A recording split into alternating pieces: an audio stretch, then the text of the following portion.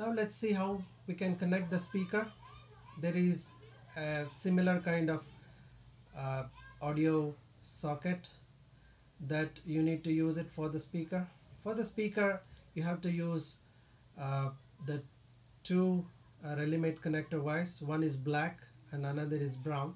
The black color is the ground which goes uh, to the ground tab and the brown the other you have to connect to uh, any of the tab which is on the left. That goes to the tip.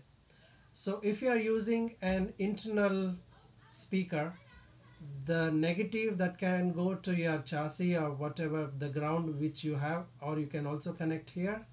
And you can connect to there will be a separate a tab over here.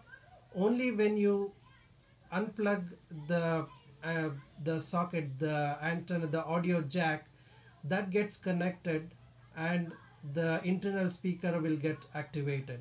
So check for the connections for the the stereo socket connections. Uh, you should be able to get uh, the the connections properly